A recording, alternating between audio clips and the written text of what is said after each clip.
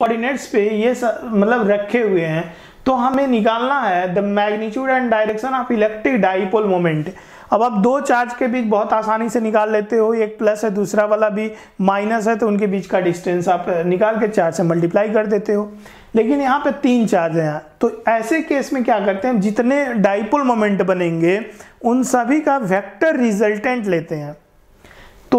आपको कॉन्सेप्ट बेहतर तरीके से समझ में आ गया होगा कि वेक्टर रिजल्टेंट लेना पहले चार्ज का ओरिएंटेशन देखो कि चार्ज कहाँ रखा हुआ है। सबसे पहले कोऑर्डिनेट्स बनाते हैं ये हमारा एक्स वाई प्लेन है ए एक्स है ए वाई है और ये हमारा जेड है। सबसे पहला वाला जो चार्ज है प्लस की वो तो आ, आ, प्लस की वो एक्स एक्स वाई एक्सिस पर है। तो यहाँ एक चार्ज यहाँ आ गया। Zero comma A comma zero पे, जो कि प्लस क्यू है, बराबर है।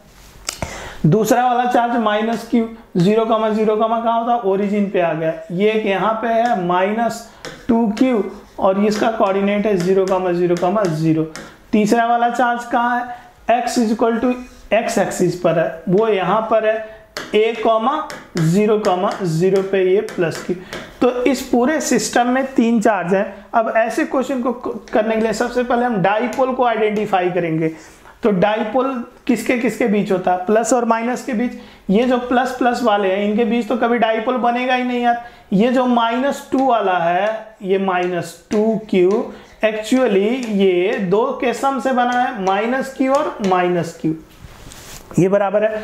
तो एक माइनस क्यू और एक प्लस क्यू। तो यहाँ इनके बीच एक डाइपोल बन गया और डाइपोल मोमेंट की डायरेक्शन निगेटिव से पॉजिटिव होता है। तो एक डाइपोल मोमेंट P इधर चला गया। P1 इधर चला गया। दूसरा डाइपोल एक माइनस इसके साथ, दूसरा प्लस इसके साथ डाइपोल मोमेंट मिलाएगा, पी टू वेक्टर इधर आ जाएगा। अब ये दोनों 90 डिग्री पे हैं तो रिजल्टेंट किधर आएगा? रिजल्टेंट दोनों की मैग्नीट्यूड इक्वल है P1 और P2 मैग्नीट्यूड में इक्वल है। डाइपोल मोमेंट की मैग्नीट्यूड कैसे निकालते हैं? चार्ज उनके बीच का डिस्टेंस ए है तो ये आ जाएगा Q और A Q ये क्या है? P1 और P2 का मैग्नीट्यूड है।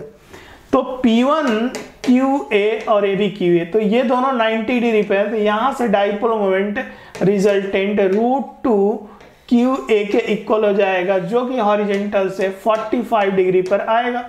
रिजल्टेंट लेने आता आपको वेक्टर से।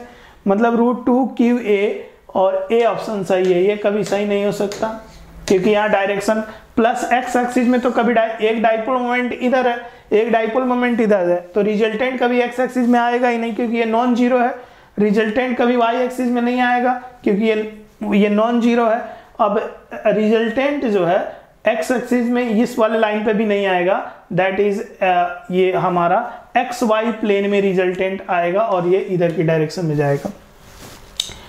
आता